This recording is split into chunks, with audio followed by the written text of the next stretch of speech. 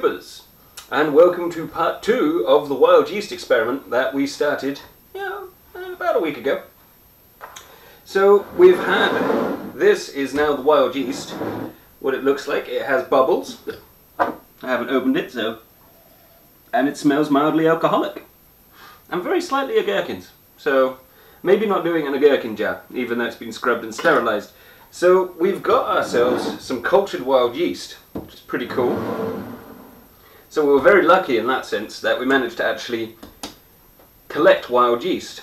Uh, you may remember that I was also doing sourdough bread.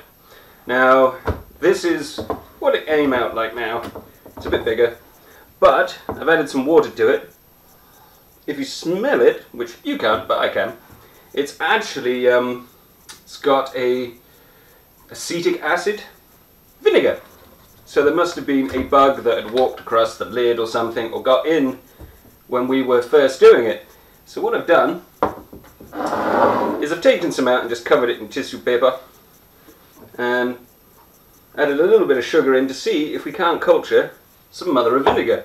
It's just to show that it can go either way. I mean, there were two jars, one of them turned into vinegar, the other one is quite nice actually.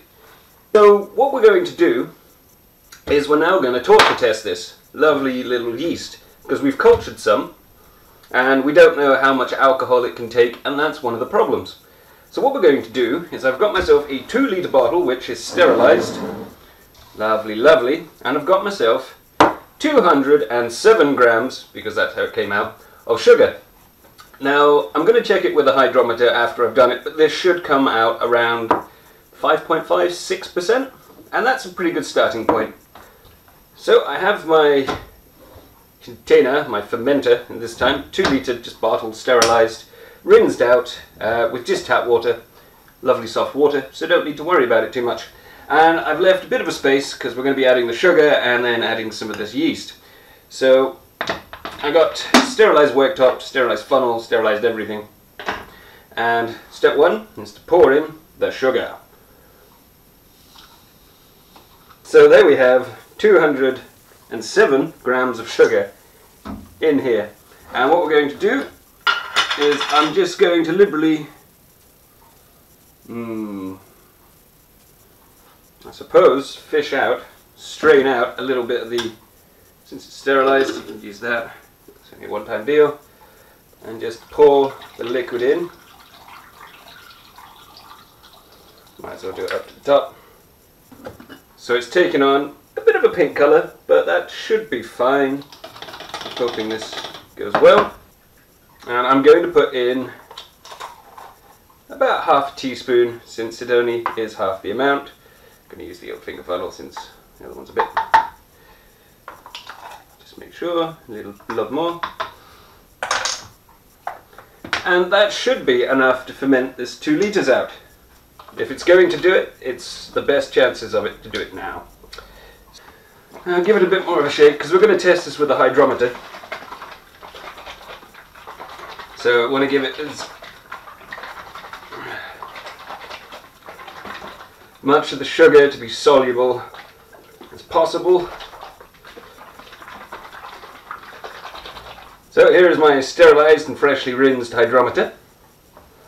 We've got hopefully somewhere around the 5.5 6% mark. So it is teetering right on featuring the red and the blue. So actually 6.5%. it's a rough guess, so you know, there so you don't cause any trouble. So what we're going to do is I'm going to label this up and we're going to see if this ferments. And if it does, then we're going to take this yeast and use it. You know, if it tastes nice and uh, you know it works, we can use this for some of our fermenting. Awesome. So I've got my little label which just says wild yeast on it. Add in the what the percentage is going to be. Hopefully so 6.5%. And I'm just going to tape it